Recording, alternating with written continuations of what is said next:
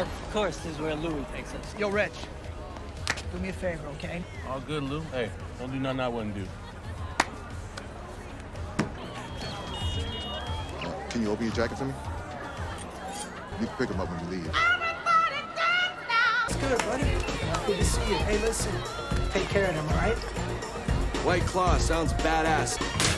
Tastes like watermelon took a piss. I'm giving you permission to take a break tonight. Long Island iced tea. This stuff's really strong, okay? It's almost like a kick to the face. To the future. Daddy! I never would have uncovered your sinister plot. We were so different.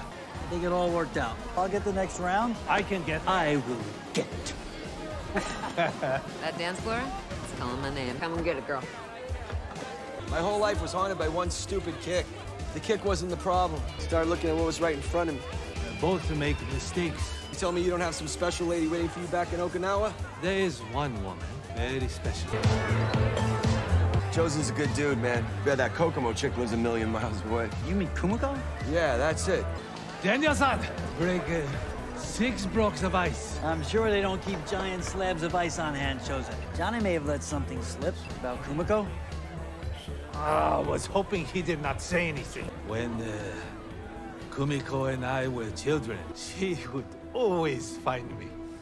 What I did to her, unforgivable. You've done all you can to make up for what you did back then. Thank you, Daniel-san.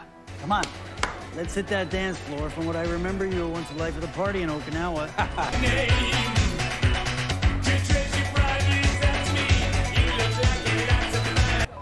Hi, Sai. This is Chozen. I would like to see you when I come home, Kumiko. Come on, we're gonna hit another bar. You in?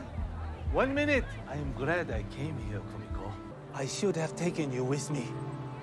Okay, bye. Come on, everybody. Uh, party time. All right. You just be safe. Promise me. Boy, Suckface Raider. Now we party.